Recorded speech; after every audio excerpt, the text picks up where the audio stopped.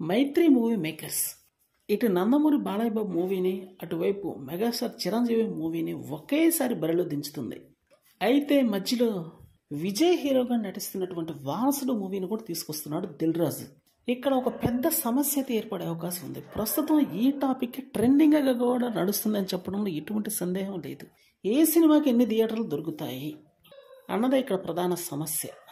తమిళ hero Vijay నటిస్తున్నటువంటి సినిమా వారసులోని తెలుగులో రిలీజ్ చేయడం ద్వారా మిగతా సినిమాలకి థియేటర్లు అయితే తగ్గే అవకాశం ఉంది.